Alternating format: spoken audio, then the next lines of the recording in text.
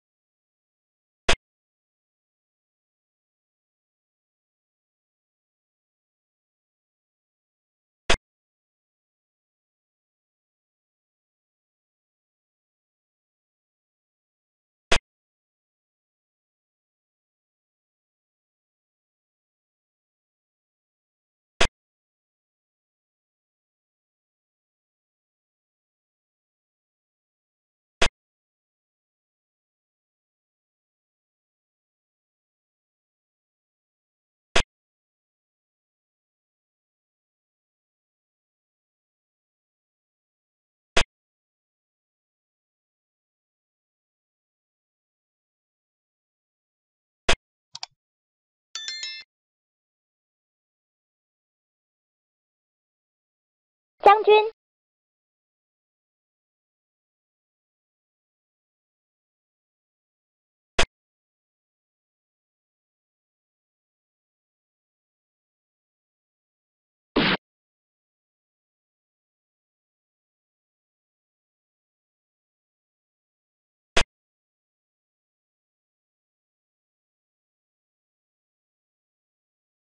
将军。